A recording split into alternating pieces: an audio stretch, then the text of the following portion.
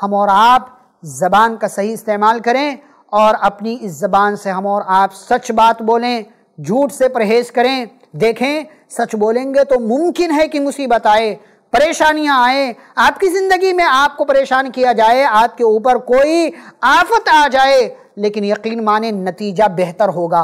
कैसे? हज़रत काब बिन मालिक, हज़रत मुरारा बिन रबी हज़रत हिलाल बिन उमैया रज़ी अल्लाह तजमाइन बाज़ वजूहत की बिना पर जंग तबूक में जाने से पीछे रह गए। आज कल आज कल आज कल टालते रहे टालते रहे टालते रहे। नतीजा ये हुआ, रसूल अकरम सल्लल्लाहु अलैहि वसल्लम वापस भी आ गए। हर एक को जाना ज़रूरी था। ये तीनों नहीं जा सके बाज़ वजूहत की बिना पर। रसूल अकरम सल्लल्लाहु अलैहि वसल्लम वापस आए, पूछा, क्या वजह थी? क्यों नहीं पहुँच सके? इन्होंने सच बोल दिया। झूठ नहीं बोला।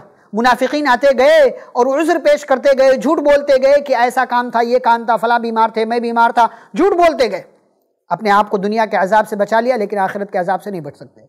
इन तीनों साहबा ने झूठ नहीं बोला, सच बोला कि सुस्ती, काहली, गफलत की वजह से आज नहीं, कल, आज नहीं, कल करते करते ये नतीजा आ गया।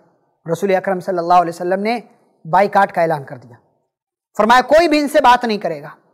कोई भी इनसे बात नहीं करेगा। आप वो वाक़ पढ़ें पूरी तफसील के साथ। हज़रत काब बिन मालिक रदी अल्लाह फरमाते हैं कि मैं जाता था, नबी से सलाम करता था, आप अपना चेहरा फेर लेते थे। किसी को भी बात करने की इजाज़त नहीं थी हमसे। आप तस्वूर करें कि आप जिस समाज में रह रहे हों, उस समाज का कोई बंदा आपसे बात ना करे।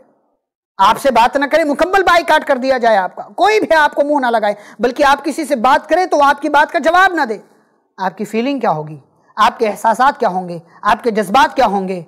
आप समझ सकते हैं तस्वूर कर सकते हैं। हज़रत काब बिन मालिक रदी अल्लाह ने फरमाया, कहते हैं कि कोई भी हमसे बात नहीं करता। चालीस दिन गुजर गए, चालीस दिन गुजर गए और चालीस दिन के बाद पुकारने वाले ने पुकारा कि अय फला अय फला अय फला, आज के दिन अपनी बीवियों से भी अलग हो जाओ। आज के बाद अपनी बीवियों से भी अलग रहो। बीवी से मिलने की इजाज़त थी, उनसे बात करने की इजाज़त थी, बल्कि सारे साहबा से बात करने की इजाज़त नहीं थी। कहा, क्या तलाक करने की बात आई है? तलाक देने की बात कही गई है। कहा, नहीं, तलाक नहीं, बल्कि बिस्तर अलग अलग कर लो, रहना अलग अलग कर लो। कहते हैं, दस दिन और गुजरे, पचास दिन गुजरा। अल्लाह पर भरोसा था कि अल्लाह हमने सच बोला है। सच अच्छा नतीजा लेकर आता है। सच बोलना ये खैर लेकर आता है। पचास दिन गुजर गए बाईकाट का सिलसिला दराज होता गया होता गया। पचास दिन गुजरे कि एक दिन पुकारने वाला पुकारता है। ए काब बिन मालिक, खुश हो जाओ। अल्लाह ने तुम्हारी तोबा कबूल कर ली है। अल्लाह ने तुम्हारी तोबा कबूल कर ली है। तुमसे खुश हो गया है। अल्लाह ने तुम्हें माफ़ कर दिया है। और अल्लाह की जानब से ऐलान आया है। वालसलासतीन खुल्लिफू। तीन लोग जो पीछे रह गए थे, अल्लाह ने उनकी तोबा कबूल कर ली।